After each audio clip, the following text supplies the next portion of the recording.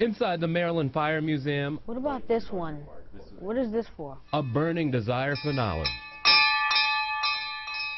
So the bells would have let you know we were coming. I got lost in the history way back there, but 11-year-old Montese had plenty of questions for curator Steve Heaver. What about forest fires?